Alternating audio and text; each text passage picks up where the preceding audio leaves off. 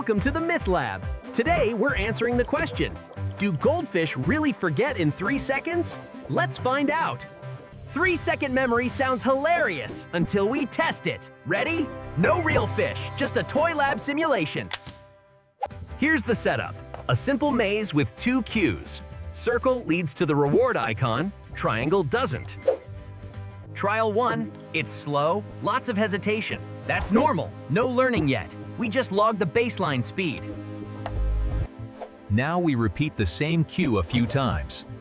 If memory is 3 seconds, performance shouldn't improve at all. After a short pause, it still picks the circle faster. That's learning, memory lasting beyond a few seconds. Verdict, the three-second myth doesn't hold up.